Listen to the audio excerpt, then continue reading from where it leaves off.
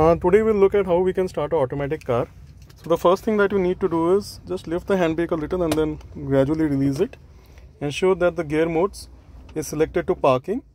Next, like in the gear pedals, this is basically the accelerator and this is the brake. So keep the brake pedal pressed and with the gear being selected to parking, keep the engine key near to the engine start stop button and then now tap on engine you will see that the car has started now what you can do is you can take the gear mode to D because that is the only mode in like automatic. And then with the help of steering you can start moving forward.